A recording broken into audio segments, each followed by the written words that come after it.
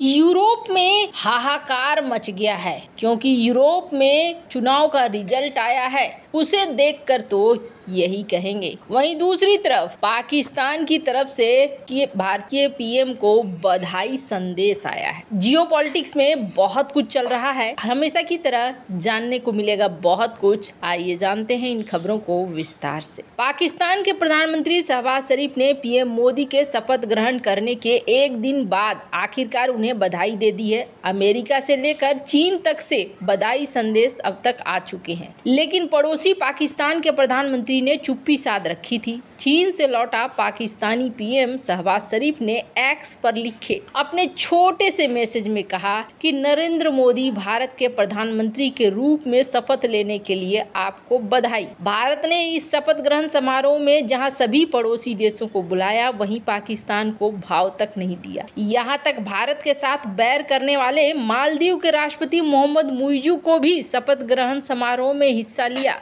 और बुलाया गया। पाकिस्तानी एक्सपर्ट को उम्मीद थी कि भारत अब पाकिस्तान के प्रति अपनी नीति में नरमी ला सकता है, लेकिन ऐसा हुआ नहीं। यही शहबाज शरीफ के एक लाइन के ट्वीट में नज़र आ रहा है। इससे पहले भारतीय प्रधानमंत्री ने शहबाज शरीफ के पीएम बनने पर एक लाइन का बधाई संदेश दिया था। पाकिस्तान इससे जल भुन गया है। भारत ने साफ़ कर दिया है कि पाकिस्तान के साथ उसके रिश्ते अब प्राथमिकता में नहीं है। और ये पाकिस्तान को रास नहीं आ रहा है। वो भी तब जब मालदीव, श्रीलंका, बांग्लादेश, भूटान जैसे पड़ोसी देशों के नेता भारत आए, उन्होंने इस भव्य शपथ ग्रहण समारोह में हिस्सा लिया। पाकिस्तानी नेता लगातार कह रहे हैं कि भारत को अब संबंध सुधारना चाहिए। पाकिस्तानी विदेश मंत्री इसाक डार ने पिछले दिनों कहा था कि भारत के साथ फिर से व्यापार शुरू करने का विचार किया जा रहा है। वहीं भारत ने साफ़ कर दिया है कि बिना आतंकवाद को रोके कोई बातचीत नहीं हो सकती है। इस बीच पाकिस्तानी पीएम ने चीन के राष्ट्रपति से कश्मीर के मुद्दे पर बात की है। इससे साफ़ है कि दोनों देश भारत के खिलाफ साजिश रचने में जुटे हुए हैं।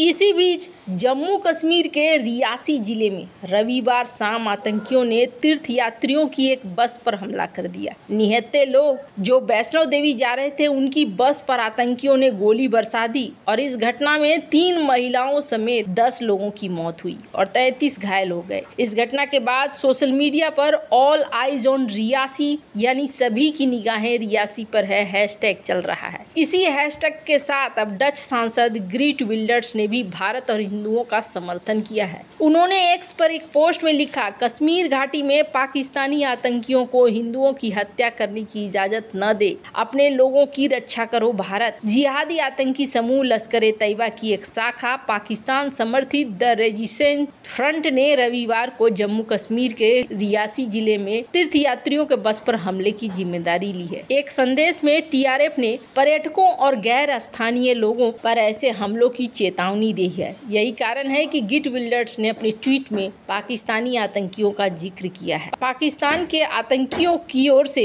यह हमला तब हुआ है जब रविवार को नरेंद्र मोदी लगातार तीसरी बार प्रधानमंत्री पद की शपथ ले रहे शपथ ग्रहण में भारत ने अपने कई पड़ोसियों को बुलाया, पर इसमें पाकिस्तान को नहीं बुलाया। लेकिन इस आतंकी हमले के ज़रिए पाकिस्तान ने अपनी उपस्थिति दिखा दी। साथ ही ये भी साफ़ है कि पाकिस्तान के संबंध कितने मुश्किल होंगे। रियासी के हमले को लेकर सोशल मीडिया मीडिया पर भी लोग भड़के हुए हैं। All eyes on Reasi hashtag के साथ। लोग अपना गुस्सा ज़ाहिर कर रहे हैं। सेलिब्रिटीज से इस हमले को लेकर लोग खास तौर से नाराज़ हैं। ऐसा इसलिए क्योंकि इसराइल ने जब राफा पर हमला किया था तो ज़्यादातर फ़िल्म स्टार्स ने ऑल आईज ऑन राफा का पोस्टर शेयर किया था। लोगों का गुस्सा इस बात को लेकर भी है कि आखिर जब दूसरे देश का मामला होता है तो बॉलीवुड एक्टिव हो जाता है। लेकिन अपने देश में आतंकी हमले में बच्चे मारे जाते हैं तो ये खामोश हो जाता है। गिट विल्डर्स के ट्वीट की लोग सराहना कर रहे हैं क्योंकि उन्होंने भारतीय न होकर भी हमले के खिलाफ बयान दिया है। आपको बता दें, दुनिया भर में ना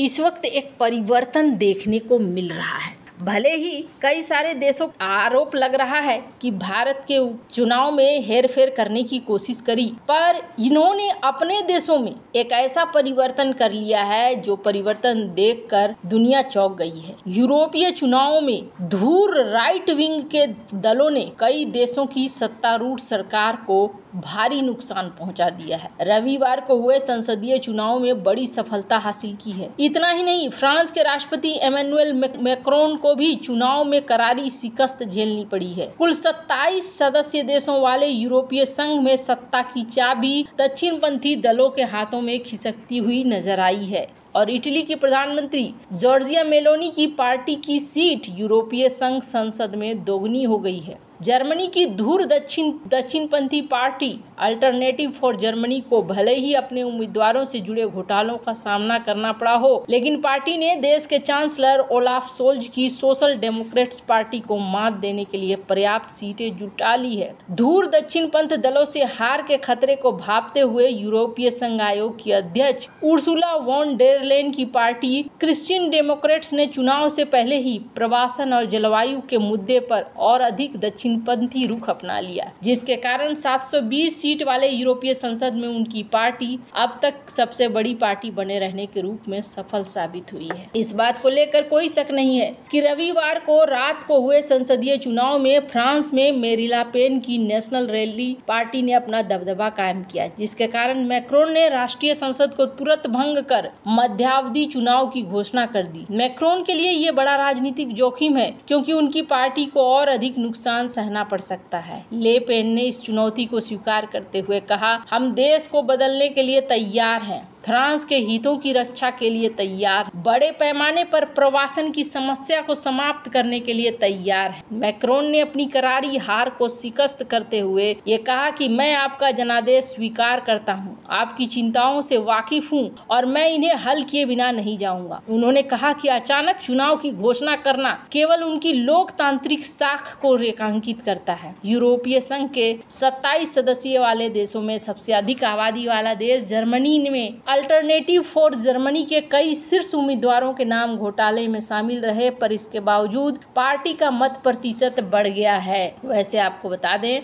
भारत के चुनाव के बाद दुनिया का दूसरा सबसे बड़ा चुनाव माना जाता है 27 देशों का यूरोपीय संघ का चुनाव। और यहाँ बहुत सारी चीज़ें अब बदलती हुई दिख रही हैं। राइट विंग्स की पार्टियाँ यहाँ ज़्यादा आ रही हैं, इसके पीछे कारण समझिए। इसके पीछे सबसे बड़ा कारण है कि यूरोप में जिस तरीके से बाहर से लोग आते चले गए घुसपैठिए माइग्रेंट्स और खुली बाहों से इन्होंने उन्हें स्वीकारा, अब ये उनके लिए दिक्कतें पैदा कर रहे हैं। यूरोप में जगह जगह प्रदर्शन और बहुत सारी ऐसी चीज़ें देखते हुए अब इन्हें समस्याओं का सामना करना पड़ रहा है। यही वजह है कि राइट विंग के लोग कहते हैं कि हमें अब यहाँ से निकाल फेंकना है, हमारे अपने कल्चर को बचाना है। ये सारी चीज़ें अब पकड़ मज़बूत हो रही है और पकड़ मज़बूत होने को लेकर मुस्लिम शरणार्थियों को लेकर ज़्यादा कदम उठाने की बात हो रही है।